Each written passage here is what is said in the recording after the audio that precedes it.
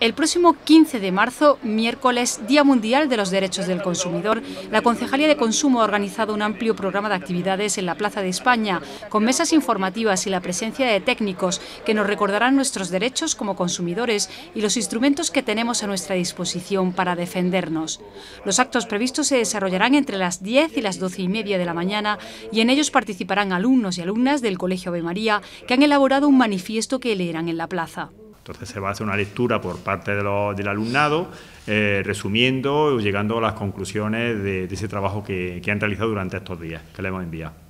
Para la Concejalía de Consumo es importante incidir en la formación de los más jóvenes, que son los futuros consumidores. Creo que desde temprana edad es necesario darle una serie de recomendaciones y que tengan claro cuáles son sus derechos como consumidores, a dónde se pueden dirigir cuando esos derechos se ven vulnerados.